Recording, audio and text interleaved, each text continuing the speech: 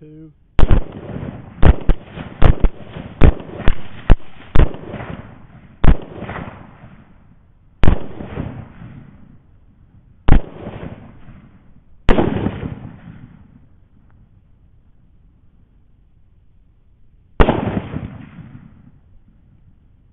Uh, one right at you, to the left.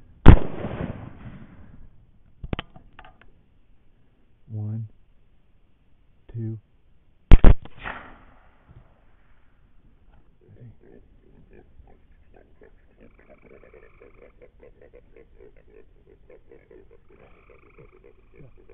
One, two.